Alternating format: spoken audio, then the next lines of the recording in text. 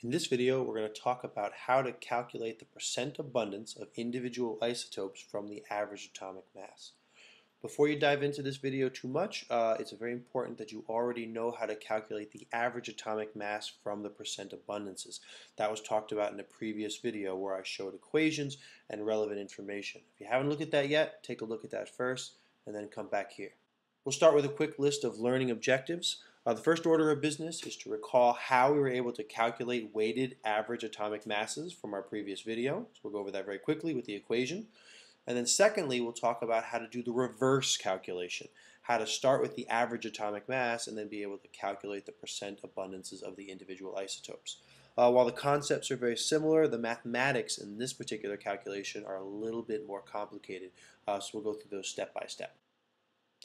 If you recall from our previous video, this is the equation that we use to calculate the average atomic mass or average atomic weight of uh, any element. Uh, this is the number that shows up on your periodic table. Uh, if you recall, the small m's represented the atomic masses of the individual isotopes. The percent A1s and percent A2s represented the abundances of your individual isotopes. All this data is available on the stable isotope data table and then we can see that we can repeat this term for each individual isotope. So this was isotope number one, isotope number three, isotope number four, um, four, over and over and over again until eventually you get to whatever that last isotope is. All of this ends up getting divided by the number 100 and as a result we end up with our average atomic weight.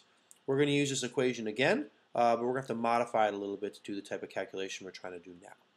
So let's start, start by talking about some of the mathematics involved in this process. First thing you should note is that we're going to limit which elements we can work with, and we're only going to be dealing with elements that have two isotopes with them. Anything more than two isotopes in the mathematics gets a little bit more complicated than we have time to tackle in here. Because we're dealing with two isotopes, we're going to need two. We're going to have two variables in our equation, and each variable is going to represent each of the individual percent isotopes that we're interested in. And because we're dealing with two variables, we're going to be solving for a system of equations. Two variables, recall from your algebra classes, requires you're going to need two equations to solve for that. So the question is, is what are those two equations actually going to be? Well, the first one is pretty obvious. We're going to be dealing with our average atomic weight equation, like we said from before. But since we're only going to ever have two isotopes here, we only need to include two terms. So it's the mass and the percent abundance of the first isotope, and the mass and the percent abundance of the second isotope. But as we mentioned before, to solve for these 2% abundances, these are the guys we're interested in, we're going to need to have two equations. And that second equation is something you might have already figured out on your own. And that's the fact that our percent abundances are going to add up to a total of 100. Recall that they are percents, and percents, all of them, always add up to a total of 100. Now when we actually go to solve these, uh, we're going to replace these percent A's and um, with uh, variables, and we're going to use the variables x and y in each case. x and y, just so it's something a little more familiar that you got for you guys to work with. So I think at this stage in the game, we're ready to tackle one, a first example. Uh, here's how it's going to be worded. Your job is to calculate the percent abundances of the two known isotopes of the element chlorine shown below. Now these names themselves provide you with some of the information you need. We have the isotope chlorine 35 and we have the isotope chlorine 37 and these 35s and these 37s are going to be the masses of our two isotopes. So these we're going to plug in for our M1 and this is what we're going to plug in for our M2. We're also told that the average atomic mass is 35.453 atomic mass units. This information is actually straight from our periodic table, and we see right here we have that 35.453 atomic mass units. If this average is not given to you, you should definitely know that you should be able to find the same exact information uh, right off of your periodic table.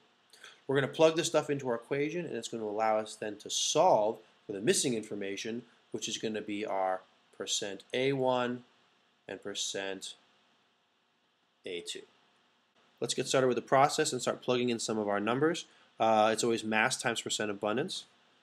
The mass of our first isotope was 35 and its percent abundance we're going to label as the variable x.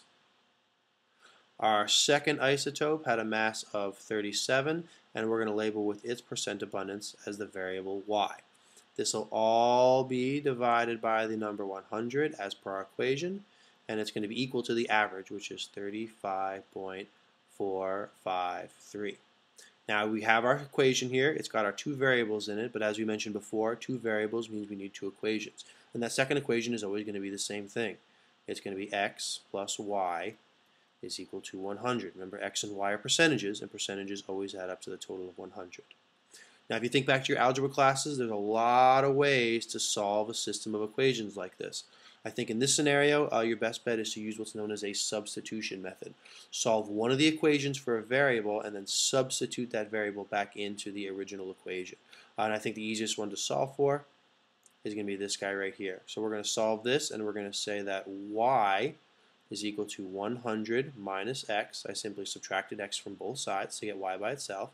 And I can now take this information right here and I can use it to replace this y up here. And if we plug all that stuff in, we're going to get a new equation that looks like this. 35x plus 37 times 100 minus x all over 100 is going to be equal to 35.453. And what I've accomplished here is I've now gotten one equation and I've got one unknown. At this stage in the game, it's really just a little algebraic uh, manipulation in order to isolate the variable x and see what it's actually solved for. So let's do that real quick. Uh, we'll distribute this 37 into everything in the parentheses, and at the same time, we'll also take this 100 and move it over to the other side by multiplying both sides of the equation by 100. We end up getting 35x plus 3700, 37 times 100, minus 37x, and that is going to be equal to 3545.3. Again, we multiplied both sides by 100, which caused our decimal place to move over two places. Now it's time to combine some like terms. 35x minus 37x is going to give us negative 2x. And then 3545.3, if we're going to subtract 3700 from both sides. That's going to make this equal to negative 154.7. Last step then, we're going to divide both sides by negative 2. That's going to cause this term to cancel out. We'll end up with x over here, and x is going to be equal to 77.35%. And that is 1 of our answers that we're looking for. And this is telling us that the chlorine 35 isotope is 77.35% abundant. Remember, recall from before, 35 was the variable that was associated with X. Well, that's one of our answers, but we need both of our answers. And to get the second one, we're going to go back to this equation over here. And we're going to say that Y then has to be equal to 100 minus 77.35 and we'll find out that y is equal to 22.65%. And again, this is the percent abundance of our second isotope. This is the chlorine 37 isotope up here. So it tells us that 22.65% of all chlorine atoms have a mass of 37 and 77.35% of all chlorine isotopes have a mass of 35. Now just like before, we can check this work by going back to our, our um, stable isotopes table. If you zoom in on that stable isotopes table, we can find right here, here's the element chlorine. We talked about the two isotopes being chlorine 35 and chlorine 37.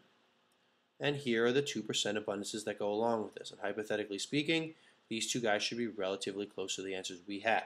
We ended up with an answer of 77.4% for this isotope, relatively close to the uh, percent abundance here, and we ended up with an answer of 22.7%, again, relatively close to the percent abundance here. We talked about in the last video why these numbers are a little bit off. It has to do with rounding here, and it has to do with the masses that we're actually plugging into our equation. Just like before, if you're looking for practice problems, you can pick any element from the list over here that has two isotopes associated with it. You can get the actual numbers of their masses, plug everything in, solve it like we did before, and then compare your answers back to the answers that show up on the table itself, and in most cases you should get results that are relatively close.